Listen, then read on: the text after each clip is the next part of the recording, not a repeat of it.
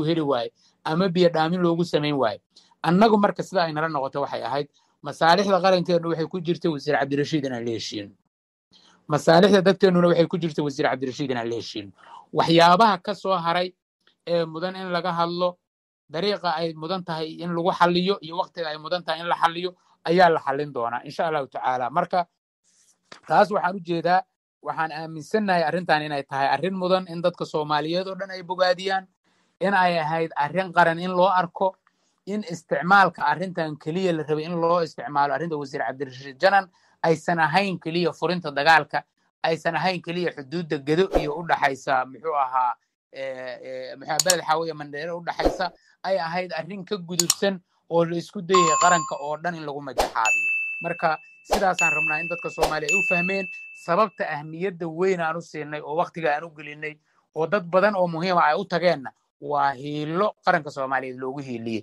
sababta aan cabdirashiid ugu mahad celinaynana waa inuu dareenkaas nala qaatay oo intii uu naga safan lahaa ugu yaraan uu inaga nala saftay oo intii uu cadowgeenna ka farxin lahaa ugu yaraan uu qarankeenna ka farxiyey marka taasaa mudan in wax badan looga tanaasulo. Gabagabadana su'aasha walaalkay cali gurbe saaxiibkay waa ku salaamay. Ciidamada laa shaki waa laba shaqa u taalla. Cadowga gudaha iyo cadowga dibadda ayaan id cadowga ka jira gobolka gedo iyo meelo badan oo soomaaliya ka mid a maanta shabaab keliya ma aha ma raba arrintaas inaan ka warwareego inaan toos u sheegaan raba cadowgu waa fara badan yahay ciidamada mas'uuliyaddooda waa inay cadowga dibaddana dalka ka ilaaliyaan intii karaankooda. Ah cadowga gudahana ka ilaaliyaan. Dad badan baa laga yaabaa inaa cadowga dibadda markaan idhaahdo inay u qaataan inaan iska riyoonayo oo in laga yaabo inay yidhaahdaan ciidamadeennu awood ma laho. Adeer laba mitir hadday ilaalin karaan labada mitiraa mas'uuliyaddu tahay inay ilaaliyaan. Hadday gaari waayaan inay xuduudda min muxuu ahaa lowyacaddo ilaa raasgaboon inay isku safaan. Haddii ay awoodaan xuduudda gada inay ilaaliyaan waa in lagu bogaadiyaa waana in lagu mahad celiyaa sanadaha ku xigana waxay gaarayaan in xuduudda kaleeto ilaaliyaan. Marka taana way gudanayaan tan ku xigta shabaabna waa cadow isaguna dibaddana laga soo abaabulo gudahana ku jira waana horena waa u wadeen ciidamadu waana wadi doonaan. Iyaga oo walaalahoodii shalay la rabay in iyaga lagu dilo loo isticmaalo kaashanaya ayaan rajaynaynaa in culayska ay ka dulqaadaan shacabka gado iyo guud ahaan shacabka soomaaliya. Mahadsantiin. Xuseen cabdicasiis africa dhowr waa mahadsan tahay agaasimaha cabdinuuraa nagula jira. Doodeena haddii wax ku biirinayo isagana balansiino africa waa mahadsan tahay maadaama dood muddo dheer socotay dibna aan kaga soo biiray waxaan rabaa inaan xoogaa si yar dhegeysto intaanan wixii su'aal iyo talo ku darin agaasima gabagabadii aan joognaa waxaan rabnaa inaad gabagabada aad kelmadahaaga nooga tiraahdo. Waa mahadsantaha cabdicasiis khiyaarta kale halkan iga muuqata wasiir ku-xigeenka wasaaradda faafinta uu ka mid yahayna waa waa uga mahad celinayaa barnaamijkan quruxda badan. Waxaan rajeynayaa un mawduuca inuu yahay mawduuc guda weyn oo taabanaya runtii arrimihii waayadan gobolka geda ka taagnaa oo ay ugu weyneyd ciidankii dhanka xuduudda dhankeeda kale ahaa fadhiyey markii u dambeysay duulaanka ku soo qaaday iyo dhibaatadii magaalada ka gaadhay in ciidamo soomaaliyeed oo qaarna kenya gudaheeda ka imaanayaan qaarna gudihii ay joogaan culeyska ay waddanka ku hayn karto. Yacni culeyska ay ka qaaday in cabdirashiid janan wasiirkii amniga jubbaland inuu qaato nabad oo dowladdu ula heshiiyana. Waxaad ka garan kartaan maanta focuska warbaahinta kenya halkay u wareegtay. Markii hore waxay ka hadli jireen yacni inay buunbuuniyaan colaadda gobolkaas ka jirta iyo isku dhufashada dadka soomaaliyeed dhexdooda. Laakiin maanta waxay ku mashquuleen inay ku qamaamaan xeryihii qaxootiga oo wasiirkooda arrimaha gudaha uu leeyahay hay'adaan la shiray si dadka loo barakiciyo oo dib loogu soo celiyo dalkooda arrimaha qaxootiga iyo waxyaabahaasna sharci caalami ah ka yaalla ayagu marbay dalkan qaxooti ku ahaan jireen. Marka qaxootinimadan ceeb ma aha. Annaga dadka soomaaliyeed dalal fara badan ay u qaxeen. Yemanaan u qaxnay syriaan u qaxnay. Maantana yeman iyo syriyaana nala jooga. Marka waxaan waa wax gadoomaya kolley waa pressure tactics ay kenyaanku isleeyihiin maadaama kiiskii baddana soo xirmay kiiskii cabdishid janana soo xirmay faragelinta doorashaduna ay ay ka sii xirmayso waa un waa furin cusub ay furayaan laakiin dadka soomaaliyeeda la rabaa in laga shaqeeyo inaan colaadu sii jirin in laga shaqeeyo inaan wiilal soomaaliyeed la isku laynin in sida inta cabdirashiid uu gartayna inay cid walba garato oy ugu horeeyaan kuwa nabadiidka hadda maalin walba hooyooyinka iyo carruurta naga qarxinaya hadda kahor baa waxaa la yidhi charles taylor oo oo liberia madaxweyne ka ahaa ayaa gabar dadka codbixiyaasha ka mid ah la wareysta waxaa la yidhi maxaa ugu codaynaysaa ninkan? Dagaalka sokay waddanka qarxiyey ee ee brutalka. Marka waxay tiri aabahay iyo hooyaday u dilay. Intuu aniga idili lahaan codka siinaya. Marka reegada inay ka dadaalaan inay nabad ka doortaan hadda dib intii la isugu noqon lahaa la dhihi lahaa waxyaabo hore iyo dacwado hore oo qofkan loo haystaa jire wax walba ha u xayirnaadaan colaaduna ha u sii socoto. Waxaa u dhaanta inay ka xaltamaan oo wixii dhacay inaan dib dambe u dhicin dembiyada uu hadda janan ku eedeysan yahay kuwo ka waaweyn rag galaana hadda golayaasheena ku jira oo senataro ahoo xildhibaano ahoo sooyaalkooda iyo la yaqaanaa. Inta magaalada muqdisho ku kortay wax ku baratayna ay fahmi karaan inta jeeray annagoo arday ah annagoo carruur ah annagoo dugsi quraan dhigana. Yacni intaasoo kadeeda aan ku soo dul barbaarno aan ku soo dul soconnay wax walbana waxaa fiican wixii la xallin karaa in la xalliyo nabaddana laga doorto colaadda dib heshiisiinta iyo wadahadaladana laga doorto kala fogaanshaha iyo cudadda iyo nacaybka. Yaan doodda halkan looga harinay wasiirka oo hadda xukuumadda nagala jooga waxaan runtii u soo jeedin lahaa inaad jubbaland oo dhan iyo dowladda federaalka wax ka dhexeeyana sidii lagu xalin lahaa oo horey loogu socon lahaa inay xukuumaddu xoogga saarto waa mahadsantihiin.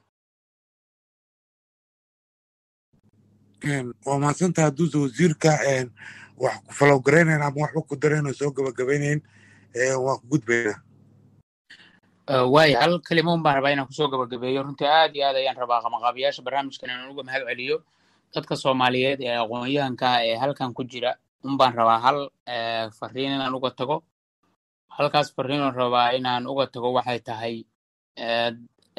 walaalayaal dhalinyaro iyo dad aqoon-yahana iyo dad da' kasta ha halkan loo badan yahay runtii mar kasta oo aad arrimaha soomaaliya xogogaal u noqoto oo aad ka shaqayso wax badan baad ogaanaysaa waxaad ogaanaysaa waxay tahay waddankeenna cadow muuqda iyo cadow qarsoon ayuu leeyahay cadowga muuqda iyo cadowga qarsoonna cadow gudaha ah iyo cadow dibadda ah ayuu ka kooban yahay. Cadowga gudaha iyo cadowga dibaddana midab gaara iyo luuqad gaara oo lagu aqoonsado ma laha laakiin hal dhaqan oo isku mid ah ayuu leeyahay. Dhaqanka isku midkaa waxa uu yahay wanaag kasta in xumaan laga doorto wanaag kastana in xumaan loo fasiro fasiraad kasta ama xaalad kastana in dhinaca wanaagsanayn laga istaago. Marka dardaaranku waxay tahay qofka iyo qarannimadu waa kala duwan yihiin. Aan u hiilinno wax kasta oo qarannimadeenna u roon oo micnaheedu aysan ahayn in cadaala la jeclaado ama la necbaado ama hebel la necbaado ama hebel la jeclaado. Ee muhiimaddu ay tahay sharafka iyo karaamada iyo midnimada ummadda soomaaliyeed. Waxa u wanaagsan inaan u hiilinno su'aalaha iyo fariimaha marar badan nala dhex mariyo oo laga yaabo inay ujeedooyin kale u adeegayaanna.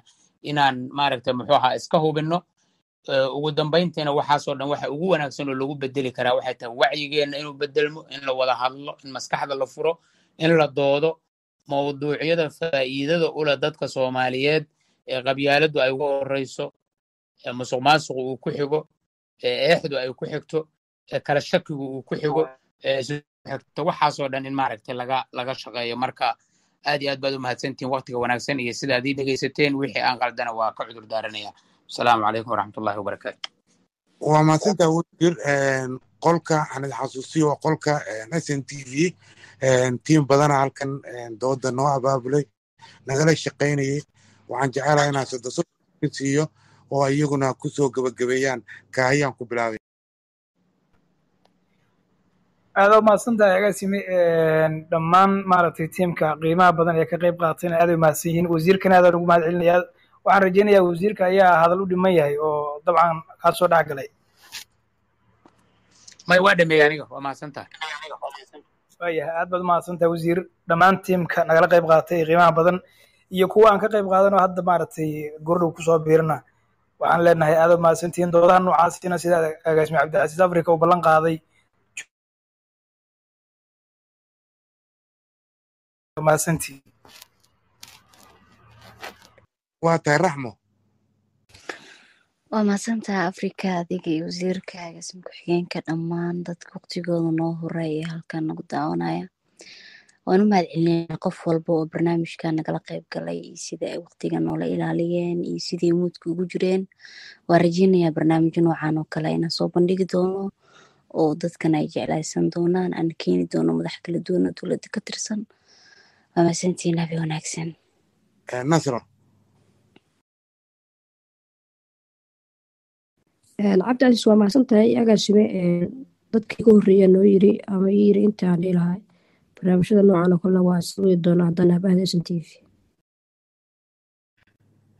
Waa mahadsantihiin dhammaantiin barnaamijka insha allah barnaamijyo xigo kuwan la mid ayaan iyagana soo qaban qaabin doonaa sidaan ballan qaadnana waxaan isku dayi doonaa cabdirashiid janan wasiirka amniga jubbaland. Isaga laftigiisa halkan keenno su'aalo badan oo dadku caawa ay wasiirka weydiiyeen oo cabdirashiid shakhsiyadiisa ku saabnaa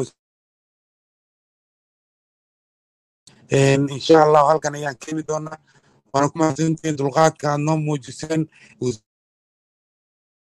Doodoon ugu talagalan hal saac iyo bar waa u dhaafay. Laba saac ayuu gaaray. Waxaan isku dayaynaa dadka dhammaan inay fursado u helaan su'aalaha ay qabaan fursad u heleen su'aalahooda inay halkan ka jeediyaan sidoo kale agaasina nagula jira halkan oo shaqo badan nagala qabta runtii uu mahadsan yahay.